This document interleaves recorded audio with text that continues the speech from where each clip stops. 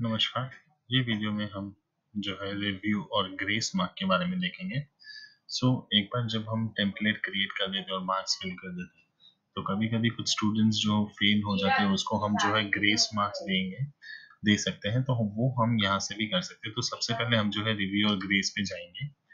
Review और grace पे जाने के बाद जो है हम फ़र्स्ट ऑप्शन जो है वो स्टैंडर्ड सेलेक्ट करेंगे।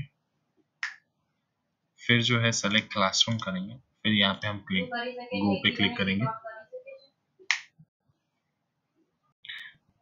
अब जैसे कि हम जैसे ही गो पे क्लिक करेंगे तो वो पर्टिकुलर स्टैंडर्ड और क्लासरूम में जितने भी स्टूडेंट्स हैं वो सबका लिस्टिंग अपने को मिल जाएगा। उसके बाद जैसे कि अगर मुझे किसी एक स्टूडेंट का एक स्टूडेंट का मुझे ग्रेस मार्क फिल करना है तो मैं वो स्टूडेंट को सेलेक्ट करूँगा। अब जैसे कि मुझे कोई स्टूडेंट का एक पर्टिकुलर सब्जेक्ट में अगर वो फेल हो चुका है और मुझे उसका ग्रेस मार्क देना है तो मैं वो स्टूडेंट के, वो सब पर्टिकुलर सब्जेक्ट के मार्क्स पे क्लिक करूँगा।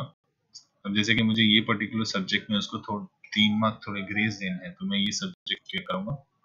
वहाँ पे हमको मार्क्स टाइप पे दो ऑप्शन आएँगे जैसे फ़र्स्ट ऑप्शन है मार्क्स अपडेट सेकेंड ऑप्शन है जो है ग्रेस मार्क तो अगर मैं ग्रेस मार्क सेलेक्ट करूँगा वहाँ पे जो भी जितने भी मार्क्स हैं, उसके साथ वो ग्रेस मार्क ऐड हो जाएँगे।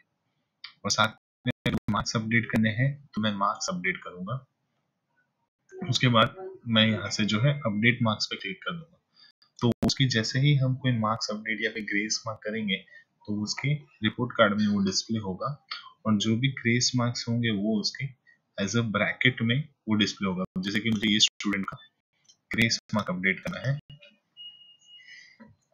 तो मैंने यहाँ पे जैसे ग्रेस मार्क अपडेट किया तो यहाँ पे ब्रैकेट में जैसे कि वो वन डिस्प्ले हो जाएगा।